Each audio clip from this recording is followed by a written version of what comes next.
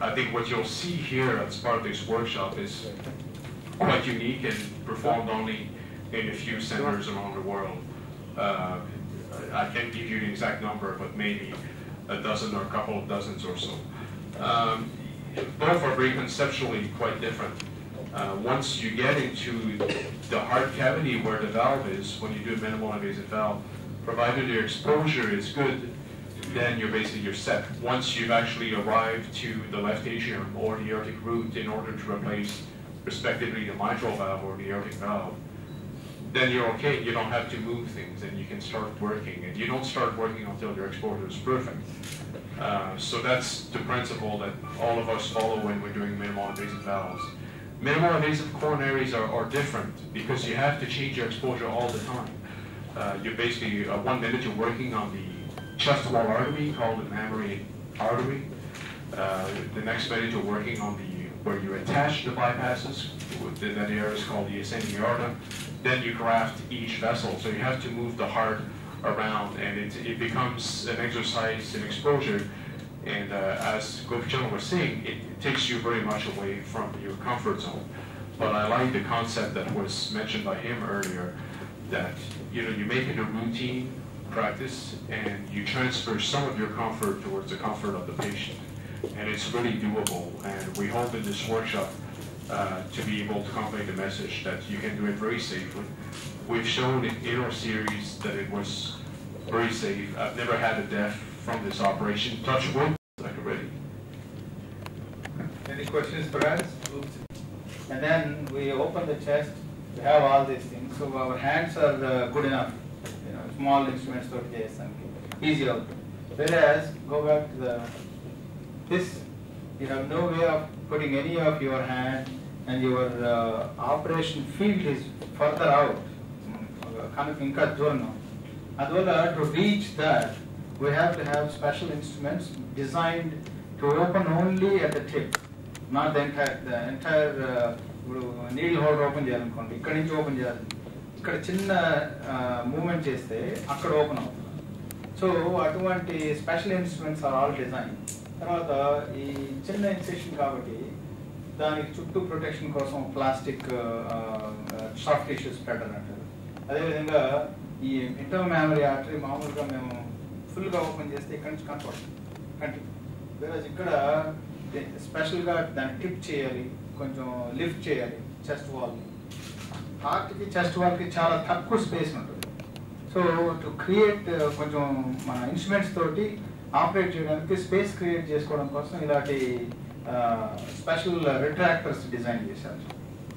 దీన్ని మళ్ళీ లిఫ్ట్ చేయడానికి రూల్ ట్రాక్ట్ అని ఒక వైర్ తోటి లిఫ్ట్ చేసే uh, special pulley uh, um, లాంటిది ఉంటుంది. సో ఇలాగా రకరకాలుగా um, ప్రతి స్టెప్కి we have to get ourselves familiarized with the new technology, new instrumentation. Next. This is the valve case, ma'am, Jason, uh, valve case. Next. This is final uh, final uh, outcome incision. The small uh, under the nipple. This is actually six centimeters incision. Uh, valve replacement. Generally, 20 centimeters is easy. easy. పైనుంచి కింద దాకా అంతే. కనీసం twenty centimeters అయితే ఈజీగా this is the standard from chin thank you అంటే ఈ పురుషులు స్త్రీలలో అంటే వాళ్ళకి అంటే ఎవరికి for us in those patients normal సర్జరీకి మినిమల్ సర్జరీకి స్మాల్ ఇన్సిషన్ తోటి ఇన్స్ట్రుమెంట్ నేను ఒక్కడే చేయగలను ఇంకెవరు లోపల ఇంకెవరికి యాక్సెస్ ఉండదు my assistant cannot help me to do this operations the entire steps and everything need to be done by the person who ever is doing my colleague is doing surgeon the main surgeon so ఒక instrument బయటకు తీస్తేనే I can put another instrument so it takes that kind of time creating access is going to be a little longer తర్వాత ఏమో femoral arteries ద్వారా access ఉంటుంది heart lung machine అవి సరే setting up uh, uh, mammary artery retractor and uh, setting up itself takes uh, 10 to 10 minutes. So all these things take add-on time, but with experience, I don't know how, long uh, it take. It's longer than a regular operation, so it becomes very manageable. When we started back in 2005, those operations, believe it or not, took seven hours because we had no idea what we were doing. So we were basically developing the technique and uh, also when you start, you know, we, we had to perform the operation on patients who were not selected whatsoever because people were not being sent by their cardiologists and saying this would be a mix, a good mixed candidate. So I had to, my first operation was a four vessel bypass in someone who was obese, uh, as, as is typical in North America.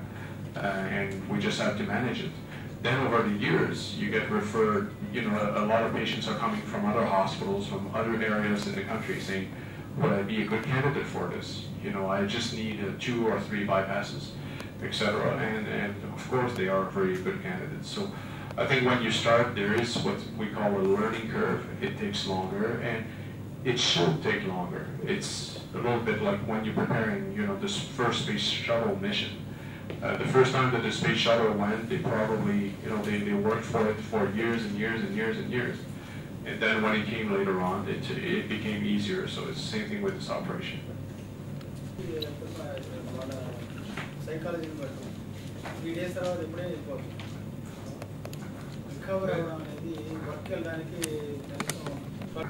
Do we have any patents on this procedure? Done through a keyhole. So there is patents separate, no, pat- no patents for this. So with the help of the that medical equipment firm uh, you evolved or uh, who initiated this process? So it's, it's actually, and we don't have stock options. Uh, but uh, when MICS was developed, initially there were some uh, early instruments that are not used anymore.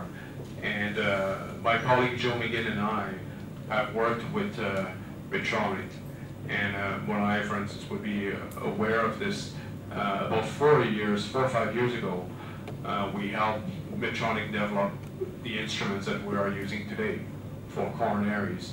Uh, I don't know what Dr. McGinn in New York did, but personally I refused all type of uh, stock options or any financial benefits related to the instruments because I'm an academic surgeon. I come from a university. What I do is research and operations, and I consider this as part of my mission, uh, which I'm sure Gopichand is considering as well. So I think it's important to be independent uh, and not sell this as a product. So we are not salesmen.